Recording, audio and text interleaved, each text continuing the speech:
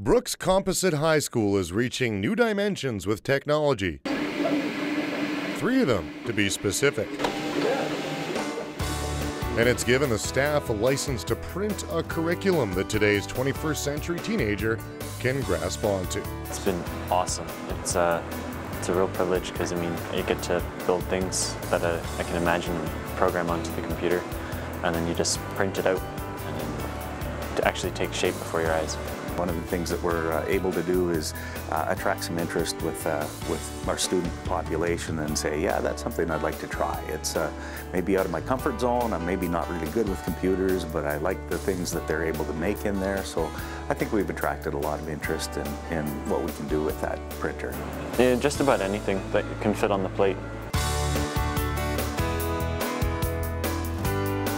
Practical application of of uh, making a replacement part for a tripod for a, for a camera. I mean, those are the kinds of things that you just couldn't do. I mean, uh, if a plastic part broke, you were hooped.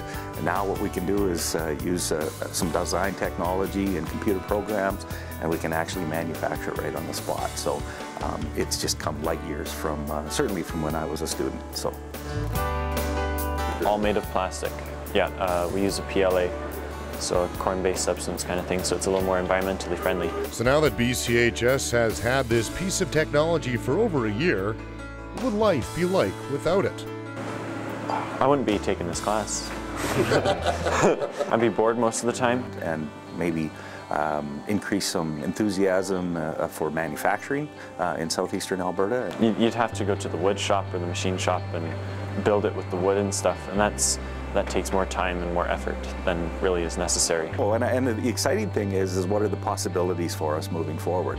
Um, so, I mean, now we're starting to see kids really get into the practical applications of it. While Brooks Composite may have been the first high school in Canada to use a 3D printer, mm, we'd love another one.